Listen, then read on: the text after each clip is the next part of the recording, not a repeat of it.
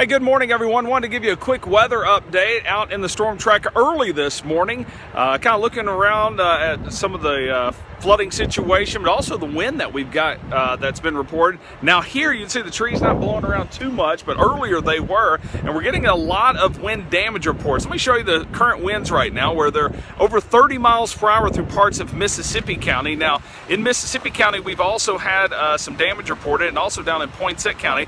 I got this picture tweeted to me just couple of minutes ago, and you can see an 18-wheeler blown off of the road and flipped over. Also got these pictures. This is uh, from Josh Butler, a friend of mine who uh, is showing me some wind damage from uh, some siding on a building, also some shingle damage there. So the winds have been quite high. So exactly what happened? Well, as this rain was coming out, a lot of times we get what's called a wake low event. Now I haven't looked at enough of the data to uh, officially say, yeah, that's what was going on here, but definitely on the backside of all of this rain that we've had, we've had winds going 30 to 50 miles per hour. So definitely something going on. Uh, I'll look into it a little further later, but right now those winds here as I record this uh, at around 9 15, I believe it's about 915 or so, maybe 920. Uh, still, the winds through the Bootheel and through Mississippi County are going 30 to 50 miles per hour, and we've had a lot of uh, electricity uh, out also.